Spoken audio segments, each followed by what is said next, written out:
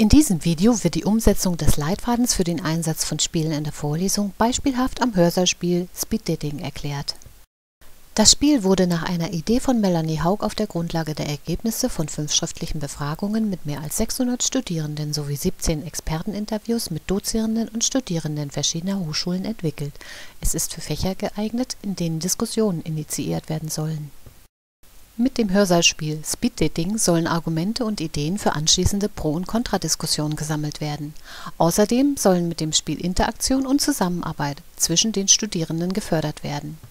Die folgende Vorgehensweise orientiert sich am Leitfaden für den Einsatz von Spielen in der Vorlesung. Stellen Sie zuerst den thematischen Bezug zwischen Vorlesung und Spiel her, indem Sie sich ein fachliches Thema mit Diskussionspotenzial überlegen das Hörsaalspiel erfüllt die didaktischen Funktionen Einführung in das Vorlesungsthema, Motivation, Festigung und Kontrolle. Das Spiel kann deshalb variabel im zeitlichen Verlauf der Vorlesung eingesetzt werden. Das Hörsaalspiel Speed Dating ist dem Genre Rollenspiel zuzuordnen und wird in der Sozialform Gruppenspiel durchgeführt. Sie benötigen lediglich Stoppuhr und Klingel und die Studierenden Zettel und Stift Bereiten Sie mindestens zwei Beispiele mit Ideen oder Argumenten vor. Mit der Vergabe einzelner Rollen an die Studierenden schaffen Sie Möglichkeiten zur aktiven Mitarbeit. Das Hörsaalspiel enthält die Elemente Zufall und Bewegung. Leiten Sie nahtlos von der Vorlesung zum Spiel über, indem Sie das aktuelle Thema an das Whiteboard projizieren oder an der Tafel notieren und die Aufgabenstellung erklären. Lassen Sie außerdem die Notwendigkeit von Argumentationen von den Studierenden diskutieren Fordern Sie jetzt die Studierenden auf, Paare zu bilden und innerhalb von drei Minuten möglichst viele positive Argumente auf einem Zettel zu notieren. Gehen Sie währenddessen durch den Hörsaal und loben Sie besonders gelungene Ergebnisse.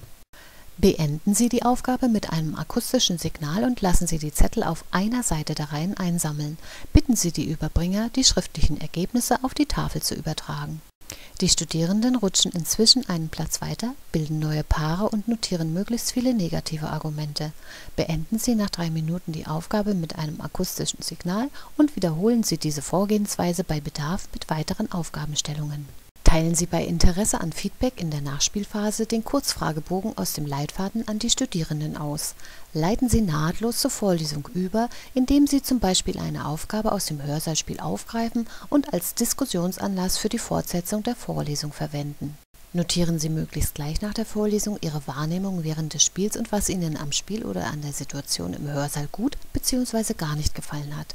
Lassen Sie bei Interesse den Kurzfragebogen auswerten und sprechen Sie über die Ergebnisse, zum Beispiel mit mir. Nehmen Sie gegebenenfalls Änderungen vor und überlegen Sie, welches Spiel Sie in einer der nächsten Vorlesungen einsetzen wollen und welche vorbereitenden Aufgaben Sie dafür an die Studierenden übertragen können. Die von den Studierenden erstellten Aufgaben können Sie mit digitalen Medien sichern und für die Fortsetzung des Spiels in einer der nächsten Vorlesungen verwenden. Bei Interesse fordern Sie einfach den ausführlichen Leitfaden an. Auf diesen Wegen können Sie auch Termine für Workshops zum Thema Hörsaalspiele mit mir vereinbaren.